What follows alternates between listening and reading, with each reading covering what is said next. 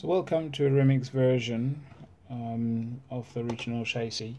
So if you just look back at how this particular chassis used to look like, it used to look like this. You used to have a servo um, holder here and this servo you'd use for steering control.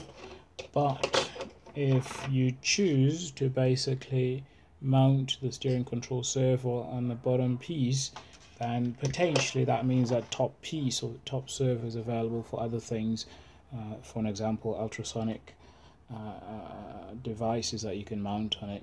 So here's an updated version of you know the top side. Um, it's got four mounting holes um, you can use to mount the servo. Uh, you're also gonna need one of these those are gonna hold your, your, your, your ultrasonic sensor. You're gonna have to print an additional you know these babies over here that's gonna hold your servo servo holding your ultrasonic sensor. Um, obviously print these stand-ups as well. They're about 11 millimeters.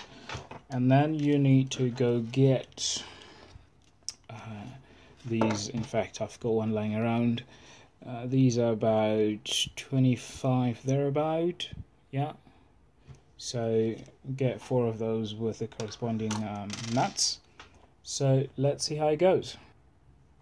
So first off um, you need to take your servo arm and mount it on on the side like this. Um, and obviously when you print this thing it's gonna have an option of holes that you can use.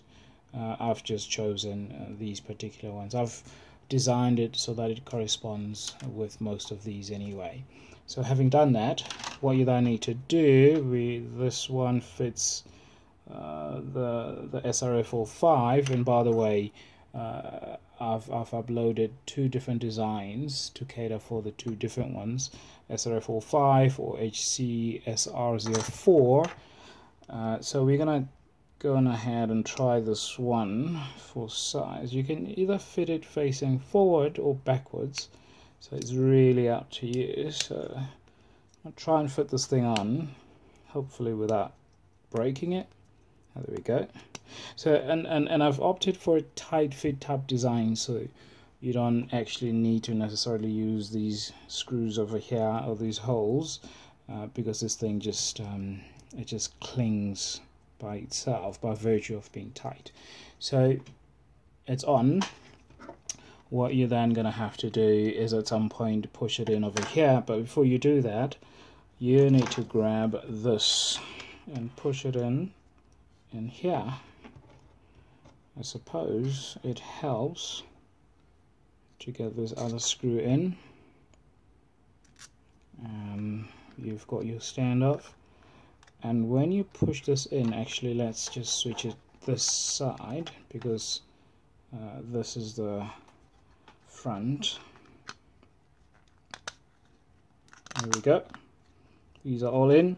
Once this is in I see there's a bit of space there. There we go. All in uh, you can then just um, come in on on the side with your uh, with your nuts and just tighten it. What you then need to do is uh, you can plug in your uh, your ultrasonic sensor like so. As easy as that you've got it fitted in.